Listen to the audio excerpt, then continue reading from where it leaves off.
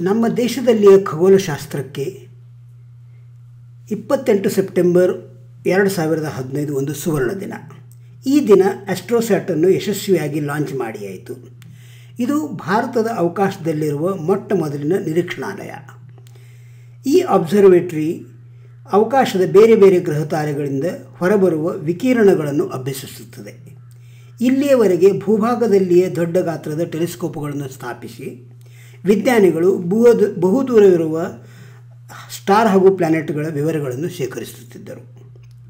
ಆದರೆ ಇತ್ತೀಚೆಗೆ ಈ ವಿಕಿರಣದ ಅಭ್ಯಾಸವು ಬಹಳ ಜಟಿಲವಾಗುತ್ತಲಿದೆ. ಈ ವಿಕಿರಣಗಳನ್ನು ತಡೆ ಹಿಡಿಯುತ್ತಿರುವುದರಿಂದ ನಾವೆಲ್ಲ ಬದುಕಿ ಉಳಿಯಲು ಸಹಾಯವಾಗುತ್ತಿದೆ. ಆದರೆ ಖಗೋಳಶಾಸ್ತ್ರಜ್ಞರಿಗೆ ಮಾತ್ರ ಅಭ್ಯಸಿಸಲು ಬಹು ತೊಂದರೆಯೇ. ಹೀಗಾಗಿ ಈ ಶಕ್ತಿಯವರೆಗೆ ವಿಕಿರಣ ಕಿರಣಗಳನ್ನು ಅಭ್ಯಸಿಸುವ ಟೆಲಿಸ್ಕೋಪ್ಗಳನ್ನು ಅವಕಾಶದಲ್ಲಿಯೇ ಸ್ಥಾಪಿಸಲು ಅವಶ್ಯಕತೆ ಇದೆ. ಆಸ್ಟ್ರೋಸ್ಯಾಟನ್ನು P S L V dash XL dash C thirty rocket ಅವಕಾಶದಲ್ಲಿ ಸ್ಥಾಪಿಸಿತು.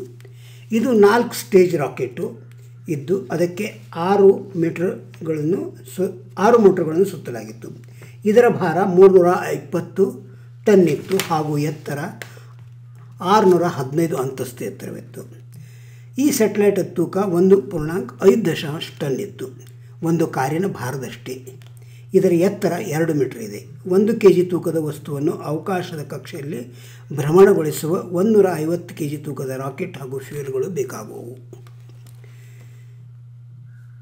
ಅಬ್ಸ್ಟ್ರಾಕ್ಟ್ ವೇಗ ಪ್ರತಿ ಗಂಟೆ ಏಳು ಪೂರ್ಣಾಂಕ ಐದು ಕಿಲೋಮೀಟರ್ ಇದ್ದು, ಅದು ಶತಾಬ್ದಿ ಟ್ರೈನದ ವೇಗಕ್ಕಿಂತ ಎರಡುನೂರು ಪಟ್ಟು ಹೆಚ್ಚಿದೆ. P S L V rocket ತುಂಡುಗಳು ಬೇರೆ ಬೇರೆ ಎತ್ತರ ಹಾಗೂ ಅಂತರದ ಮೇಲೆ ಬಿಡುಗಡೆಯಾಗುತ್ತವೆ. ಕೊನೆಯಲ್ಲಿ ಆರುನೂರ ಐವತ್ತು ಕಿಲೋಮೀಟರ್ ಎತ್ತರದಲ್ಲಿ ಮುಟ್ಟಲು ಇಪ್ಪತ್ತ್ಮೂರು ನಿಮಿಷಗಳು ಬೇಕಾಗುವು.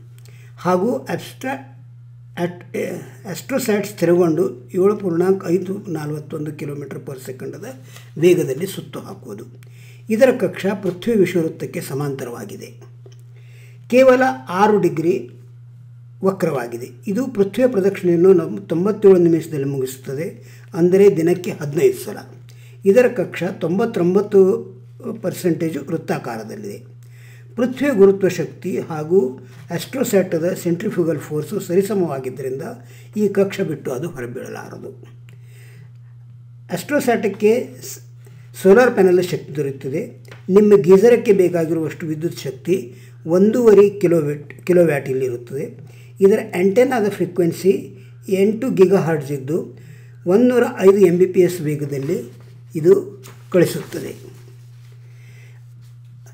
ಐ ಎಸ್ ಎಸ್ ಸಿ ಬೆಂಗಳೂರಿನಲ್ಲಿಯ ರಿಸೀವರ್ಗಳು ಈ ಡೇಟಾವನ್ನು ಪೃಥಕ್ಕಳಿಸುತ್ತವೆ ಮೂರು ನಿಮಿಷಗಳಲ್ಲಿ ಈ ಕೆಲಸ ನೆರವೇರುವುದು. ಹೀಗಾಗಿ ನಾಲ್ಕು ಪೂರ್ಣಾಂಕ ಏಳು ದಶಾಂಶ ಜಿ ಬಿಯಷ್ಟನ್ನು ಡೇಟಾವನ್ನು ಇದು ಶೇಖರಿಸಿದು ಅಂದರೆ ನಾಲ್ಕು ಎಚ್ ಡಿ ಮೂವಿಯಷ್ಟೇ ಇದಕ್ಕಾಗಿ ಒಂದೂರ ಎಪ್ಪತ್ತೆಂಟು ಕೋಟಿ ರೂಪಾಯಿಗಳಂತೆ ಖರ್ಚಾಗಿದೆ. ಇದು ದುಂದುಗಾರಿಕೆಯೇ ನೀವೇ ಇದರ ಬಗ್ಗೆ ವಿವರಿಸಿ. ನಮ್ಮ ಶರೀರದಕ್ಕೆ ಯಾವುದೇ ಕಾಯಿಲೆಯಾದರೂ doctor, ultrasound, X ray, infrared ಮುಂತಾದವುಗಳನ್ನು ಉಪಯೋಗಿಸಿ ನಮ್ಮ ಶರೀರದ ಸ್ಥಿತಿಯನ್ನು ಸರಿಯಾಗಿ ಕಂಡುಹಿಡುತ್ತಾರೆ ಇದೇ ರೀತಿ ವಿಶ್ವದಲ್ಲಿ ಏನೇನು ನಡೆದಿದೆ ಎಂಬುದನ್ನು ಕೂಡ ಇಂತಹ ಸೆಟಲೈಟ್ಗಳು ಕಂಡುಹಿಡಿಯುವು. ಬೇರೆ ಬೇರೆ ಪದಾರ್ಥಗಳ ವಿಕಿರಣಗಳನ್ನು ಅಭ್ಯಸಿಸಿದರೆ ಇದು ಸಾಧ್ಯ. ಇಲ್ಲಿ gamma rays x rays microwave, radio waves ಇಂತಹ ಕಣ್ಣಿಗೆ ಕಾಣದಂತಹ ಕಿರ, ಕಿರಣಗಳು ಹೊರಬರುತ್ತವೆ. ಇದನ್ನೆಲ್ಲ ನಿರೀಕ್ಷಿಸಲು ಬೇರೆ ಬೇರೆ ರೀತಿಯ ಕ್ಯಾಮ್ರಾಗಳು ಬೇಕಾಗುವು ಇಂಥ ಐದು ಕ್ಯಾಮ್ರಾಗಳನ್ನು ಅಸ್ಟ್ರೋಸ್ಯಾಟದಲ್ಲಿ ಕೂಡಿಸಿದೆ.